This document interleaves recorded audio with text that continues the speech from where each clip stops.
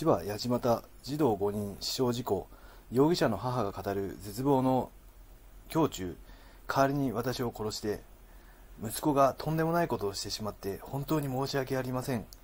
亡くなった子供さんやその親御さんにどう言って謝っていいのか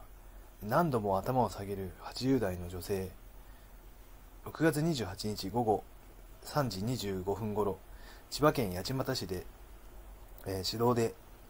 え、大型貨物トラックが下校中だった同市の、え、小学校の児童の列に突っ込んだ、え2人が死亡1人が意識不明の重体、え2人が重傷のずさんな事故となった。冒頭の言葉はそのトラックを運転していた容疑者の母親のものだ。当初、え、過失運転致死傷の疑いで逮捕された容疑者。だが昼食時に飲酒をしていたことさらには居眠り運転で指導脇の電柱に激突した勢いそのままその40メートルほど前にいた児童の列に減速せずに突っ込んでいたことが判明したんですね。より、えー、罪が重い危険運転致死容疑の切り替わって送検されているということで、えー過去にこの事故のやつとその後にあのこの会社の関係ない、えー、ところまで似てる会社のところまでね苦情が来てるっていう動画上げてますので概要欄に載せてますので興味ある方見てみてください、えー、容疑者の母親が続ける。私には子供がいますからその可愛い子供を失ったらだと考えるともうたまらなくて世間の皆様にも顔向けができないんですよ。事件直後は容疑者である息子を何とか助けたいという思いがあったが時間が経って落ち着いてきたら息子を死刑にでも何でもしてくれ殺してくださいという気持ちになっていますとこんなひどい事故を起こしたんですからだがこうも続けた。とはいえ私にとっては可愛い息子ですからできれば変わってあげたいという気持ちも代わりに老いた私と主人の命を奪ってもらったらと思います。息子はお酒が弱いという。今、えー、自分にできることは何なのか、えー、自問する自問自答する毎日だったという。私の家族は今、えー、車が運転できる人間がいないんです。私は運転免許を返上してしまったし主人は今回の事故を聞いて腰を抜かしてしまって動けなくなってしまった。息子の嫁も体調が悪いし孫は仕事が忙しいみたいだし被害に遭われた子供の子供たちのお宅に行って謝ることも息子の面会に行けない状態。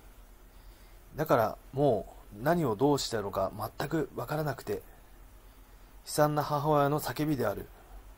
容疑者は昔から手がからない子供だったという。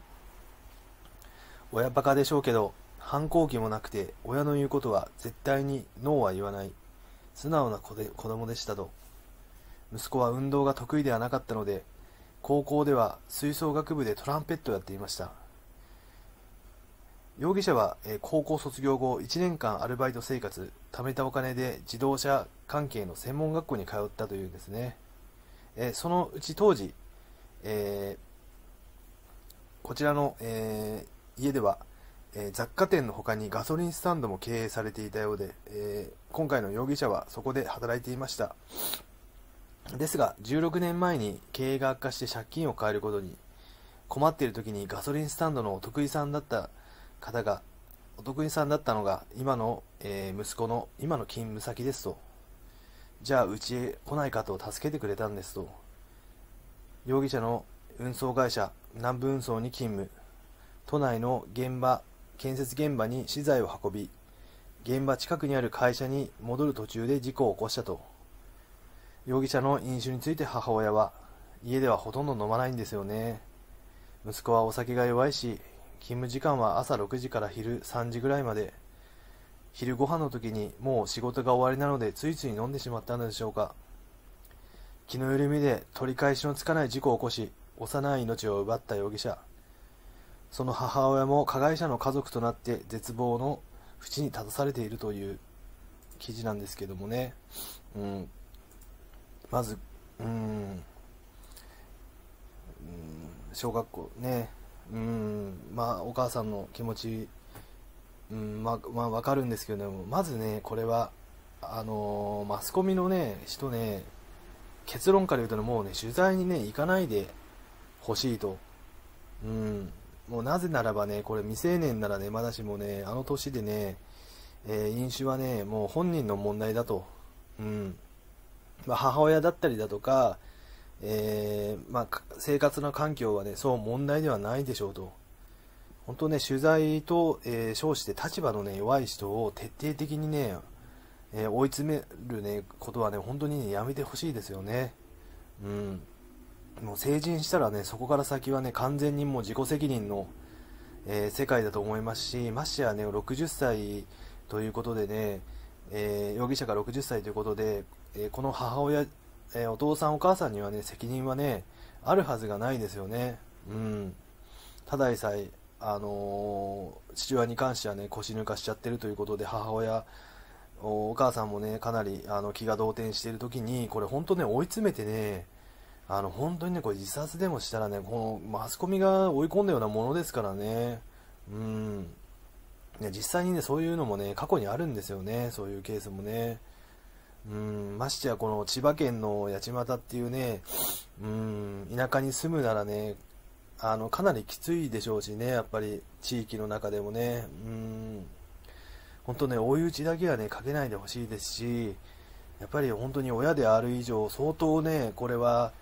あの、想像できないほどね、苦しんでるはずなので、